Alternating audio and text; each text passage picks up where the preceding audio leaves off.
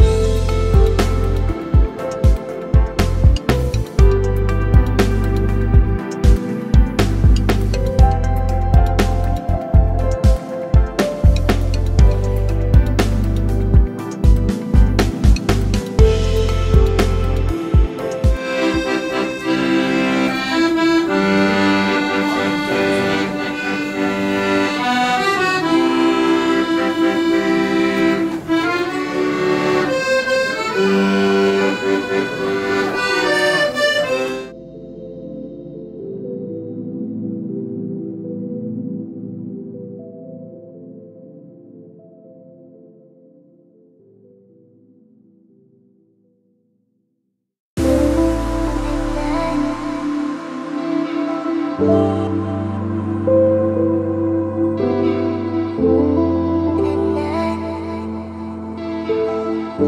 you.